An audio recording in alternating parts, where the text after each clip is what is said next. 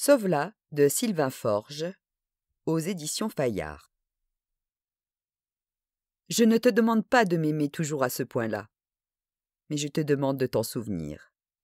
Francis Scott Fitzgerald, Tendre la nuit. À celle qui m'a fait regarder du côté des vivants. Chapitre 1 Le crépuscule assombrissait l'horizon quand le vieux bus enchaîna ses premiers virages. Sur ses flancs, la peinture s'écaillait et le pot d'échappement crachait un épais nuage noir. Elle avait choisi une place quelques rangs derrière le chauffeur, qui fumait comme un pompier. À l'arrière, une dizaine d'hommes ne cessaient de la dévorer des yeux depuis qu'elle était montée à bord. Pourtant, elle n'avait rien d'affriolant avec ses vêtements sales et tachés de boue, ses traits ravagés par l'épuisement. Mais elle était la seule femme. Le moteur émettait un bruit sourd et inquiétant dans les descentes. L'air lourd de l'habitacle, mélange de vieille sueur et de cigarillos, collait à sa peau. Malgré ses efforts, elle n'était pas parvenue à ouvrir sa vitre. Chaque virage lui soulevait le cœur. Ses yeux restaient fixés sur le dossier du siège devant elle, tandis que ses doigts serraient convulsivement son portefeuille. Elle repensait aux dernières heures et à son ami qui avait disparu. L'inquiétude la rongeait. L'obscurité s'épaissit encore et les crêtes des montagnes s'estompèrent dans le noir. À un moment, le moteur ronfla et elle redressa la tête. Un type quittait son siège et se dirigeait vers le conducteur. Les volutes bleuâtres de son Inas lui piquaient les yeux et la gorge. Elle n'avait rien bu de toute la journée. Se désaltérer et quitter ces montagnes, c'était tout ce qui lui importait. Une dispute éclata à l'avant. Elle ne comprenait pas l'espagnol, et le passager, debout, ne baragouinait visiblement que deux ou trois mots.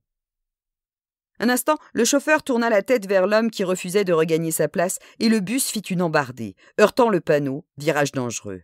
Dans son élan, le véhicule longea le bord du ravin sur quelques mètres, et le conducteur rétrograda, faisant craquer le boîtier de vitesse. Mais l'allure de l'autocar ne diminua pas. L'homme écrasa la pédale de frein et la lourde carcasse glissa de l'autre côté de la route jusqu'à buter contre un pan de la montagne dans un fracas de tôle froissée. Un des phares explosa et la course du bus devint erratique. Tous les passagers, cramponnés, scrutaient la manœuvre avec un regard noyé de la même peur viscérale. Le chauffeur cracha son cigare et tira sur le frein à main de toutes ses forces. Les pneus hurlèrent, tandis que du moteur jaillissait un vacarme de soupape sur le point d'exploser. Entraîné par son propre poids, le véhicule fila droit vers le parapet qui heurta de plein fouet.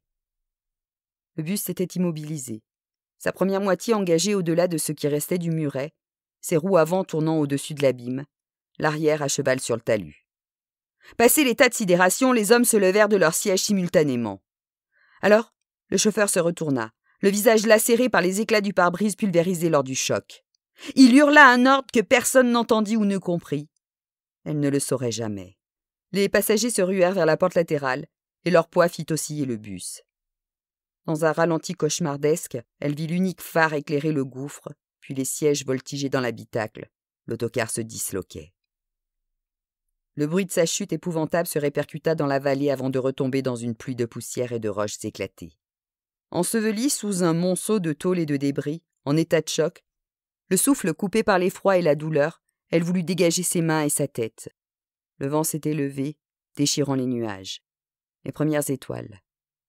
Autour d'elle, ni bruit, ni râle, un silence de mort. Chapitre 2 cette nuit-là, il avait rêvé d'elle. Les yeux mi-clos, il contemplait les ombres grises du petit jour qui progressait dans la chambre. Il savait qu'il ne retrouverait pas le sommeil, plus à son âge. Couché sur le ventre, Clémence ronflait paisiblement, le visage à demi enfoui dans la couette. Quelques mèches blondes se détachaient sur l'oreiller.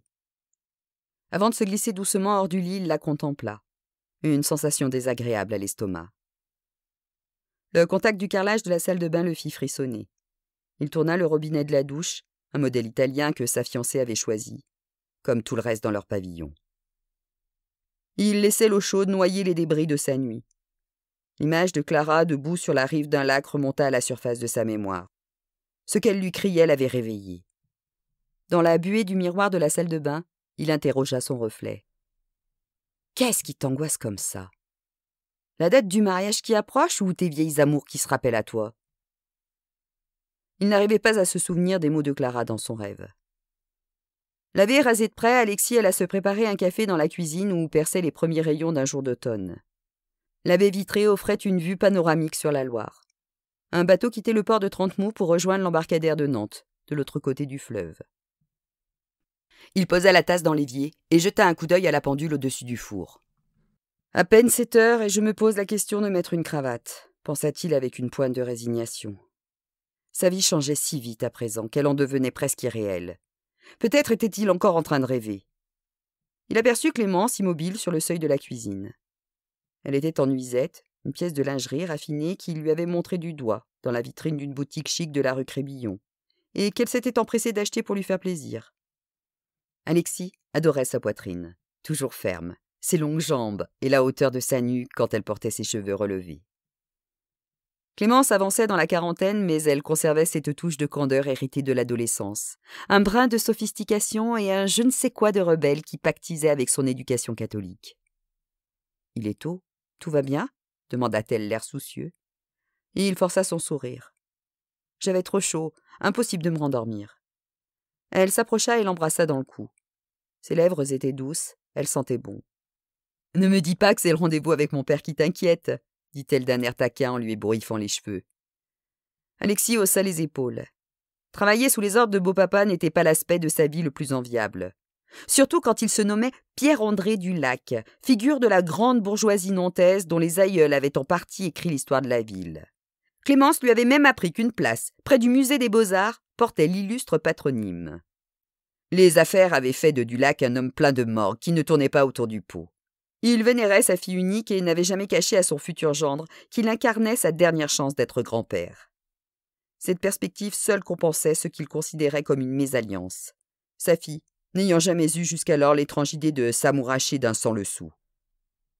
Mais qu'apportait, pourvu qu'un petit-fils fasse pousser une nouvelle branche à l'arbre généalogique de la dynastie? Tout va bien se passer, fit Clémence. Alexis hocha la tête sans conviction. Elle ajouta. Et mon petit doigt me dit qu'il y a une bonne nouvelle à la clé. Alexis l'embrassa pour clore le sujet et saisit son manteau. L'idée que père et fille complotent dans son dos l'agaçait, le dérangeait même. Au moment où il traversait l'entrée, elle lui lança. On n'a toujours pas reçu le devis pour le repas du mariage. Tu pourrais envoyer un mail au traiteur? Encore une fois, il hocha la tête. Puis il tourna les talons et sortit. Pendant que la porte du garage coulissait, une averse d'images l'assaillit tel un rideau qui se déchire. Des fragments de son rêve. Alexis, je t'en supplie Sauve-la hurlait Clara. Chapitre 3 Pierre-André Dulac était à la tête de Prudentio, un cabinet d'investigation spécialisé dans la fraude aux assurances, dont le siège était resté dans l'Ouest, proche des racines bretonnes de son fondateur. Héritier d'une fortune édifiée durant les traites négrières, Dulac avait fait fructifier son pactole dans la banque et la couverture des risques, avant de pourchasser arnaqueurs et aigrefins de tout poil. Les bureaux de Prudencio étaient installés rue Kervégan, dans une bâtisse du XVIIIe siècle pompeuse et classée aux monuments historiques. Alexis se gara assez loin, comme il aimait le faire lorsqu'il en avait le temps. À pied, il longea la Loire, puis emprunta la passerelle qui menait au palais de justice. Un peu en avance, il s'accouda au garde-fou et contempla la brume épaisse qui montait du fleuve. Des cyclistes en mitouflés pédalaient vers leur bureau. Une joggeuse passa derrière lui. Au loin, on distinguait quelques voiliers amarrés sur le quai de la fosse. Souvent, Alexis scrutait les grues des anciens chantiers et songeait qu'au-delà se trouvait l'estuaire, l'océan et tout un monde de possibilités. Quand une affaire l'emmenait du côté de Saint-Nazaire, il faisait un détour pour aller admirer les paquebots en construction. Quelquefois, il se garait le long de la plage et mettait de la musique, du jazz ou des chansons d'hier qui lui rappelaient des souvenirs, bons ou tristes. Des morceaux de sa vie d'avant, Perhaps Love de John Denver et Placido Domingo, Spanish Train de Chris de Burgh, The Stranger de Billy Joel et quelques autres. Il marchait seul sur la plage, après, il veillait à bien secouer ses chaussures pour ne pas laisser de sable dans la voiture de société qu'il partageait avec ses collègues de Prudencio. C'étaient ses moments à lui, des petits répits, de l'air. Alexis arriva au pied de la vieille bâtisse. Elle était un peu de guingois, en raison de ses fondations, construites sur des pilotis plantés dans une zone marécageuse à l'origine. La direction se trouvait au dernier étage. Dulac fit le tour de son bureau pour venir saluer celui qui l'appelait déjà mon gendre. Le parâtre allait vite en besogne. Le mariage ne serait célébré que six mois plus tard. C'était un homme chauve, le visage barré d'une paire de lunettes d'écaille et vêtu d'un costume cravate d'excellente coupe. Le parfait guindé. il proposa à Alexis un fauteuil et prit place dans celui qui lui faisait face. Une façon recuite de le mettre à l'aise. Depuis son arrivée dans le cabinet, Alexis s'était montré un employé modèle. Il ne voulait pas décevoir Clémence, car c'était elle qui l'avait fait embaucher, lui permettant ainsi de rompre avec plusieurs années de vache maigre. Et puis, son travail n'était pas si ennuyeux. Il lui offrait une lucarne sur la misère et la petitesse du monde. Son ordinaire se partageait entre la chasse aux types qui gonflaient leurs préjudices pour être mieux indemnisés, ou ceux qui échafaudaient de faux sinistres. Parfois, des affaires atteignaient le comble de l'horreur au point d'en être inclassables, comme ce gang qui brisait les os de démunis après leur avoir administré une bonne dose d'antidouleur pour frauder les assurances. Les malheureux étaient ensuite abandonnés au bord de la route où des témoins bidons se chargeaient de décrire à la police un accident de la circulation imaginaire. Les faux accidentés, définitivement estropiés, reversaient ensuite une partie substantielle de la prime à leurs tortionnaires. Comme à son habitude, Dulac jaugeait Alexis, se demandant ce que sa fille pouvait trouver à un pingouin dans son genre. Il lança d'un air faussement navré. Ton collègue Anatole a décidé de prendre sa retraite. Il me l'a annoncé il y a deux jours. C'est une grosse perte pour le cabinet. Ses années dans la police lui avaient donné du flair, chose dont les nouvelles générations n'ont jamais entendu parler. Alexis approuva d'un signe de tête. Il formait un excellent binôme avec l'ancien commandant. Pendant qu'Anatole titillait les suspects en les poussant dans leur retranchement, Alexis se chargeait des investigations numériques. Les gens qui veulent dissimuler quelque chose laissent souvent plus de traces qu'ils ne l'imaginent sur Internet. Coste reste un poivreau notoire, continua Dulac. Je ne me rappelle plus combien de fois, pendant les heures de bureau, j'ai dû le récupérer par le col et l'arracher d'un comptoir. Mais quelle intuition, ce type Dans la poche d'Alexis, son téléphone vibra. Sûrement Clémence qui venait déjà aux nouvelles, pensa-t-il. La patience n'était pas son fort. Le marché de l'assurance est en plein bouleversement, fit Dulac. On ne parle plus aujourd'hui que de données big data et de cybermenaces. Dans ce contexte, les fraudes et les malveillances sont innombrables. Les entreprises ont besoin de se garantir, et nous, si on ne se met pas à la page très vite, on sera dégagé du marché d'ici la fin de l'année prochaine. Alexis attendit la suite. J'ai décidé de lancer Cyber Team, une équipe de jeunes aux dents longues, prêts à mouiller le maillot pour vendre de nouveaux produits d'assurance. Cette brigade réclame à sa tête un gars bien au fait du monde numérique, en qui j'ai toute confiance. Ce sera toi. Tu prends la direction des opérations dès maintenant. Alexis essaya de se montrer surpris. Une place au chaud, le mariage, et maintenant une promo de première. Le vieux précisa. C'est un poste qui nécessite moins de déplacements.